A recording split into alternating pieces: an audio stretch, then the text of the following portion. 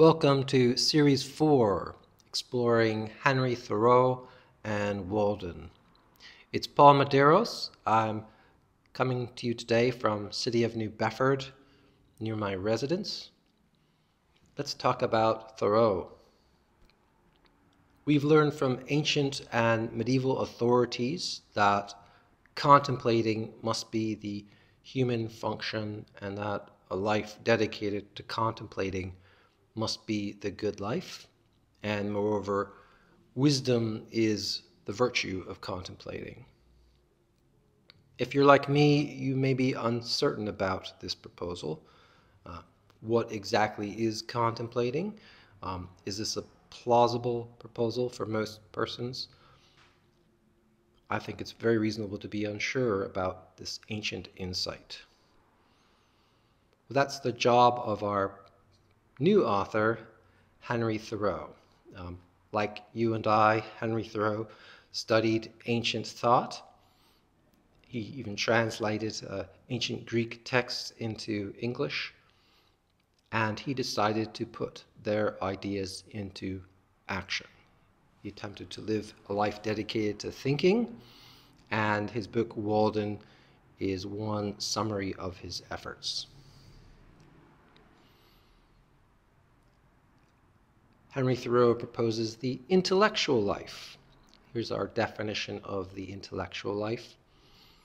Human life 100% committed to some or all areas of intellectual activity and virtues.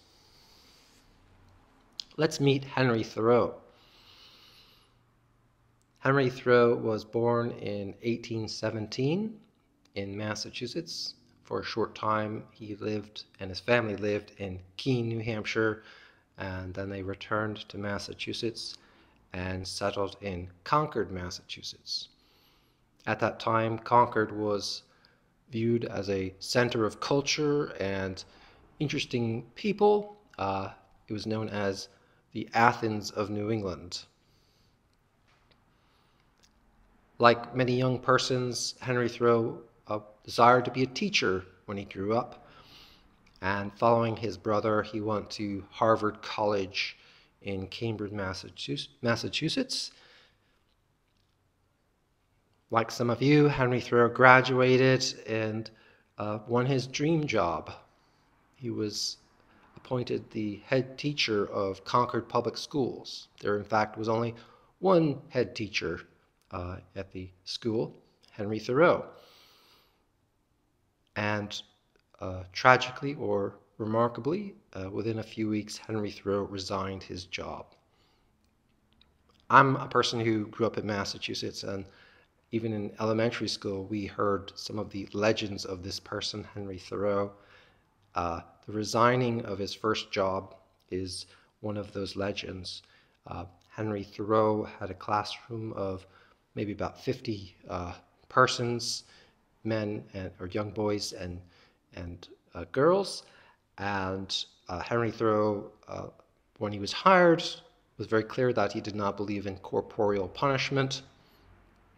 However, uh, young persons can be rowdy in the classroom, uh, and the school committee approached Henry Thoreau after a few weeks and asked him to discipline the students uh, using corporeal punishment. Henry Thoreau refused to continue, uh, resigned his job. An important uh, turning point in Henry Thoreau's life. Uh, this is the year 1837. Uh, shortly after, Henry Thoreau uh, ran into his famous neighbor, uh, Mr. Ralph Waldo Emerson, who recommended that Henry Thoreau start writing in a journal. And they began a lifelong friendship.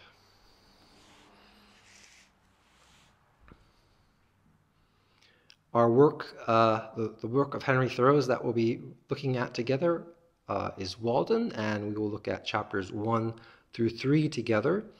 Those are the chapters where our author provides his philosophical ideas and arguments. What's unique about Henry Thoreau's writing in Walden is his focus on human life. He's not as much interested in human persons as he is in the topic of human life. I would like to now share with you the three learning objectives to guide your, your reading activity. First learning objective to identify Henry Thoreau's mysterious activity introduced in chapter 1 and again in chapter 2. Second learning objective to distinguish being good and doing good according to the author. That's toward the end of chapter 1. And third objective to learn Henry Thoreau's two proposals about the good life. One, living simply, and two, intellectual life, life 100% committed to some or all areas of intellectual activity and virtue.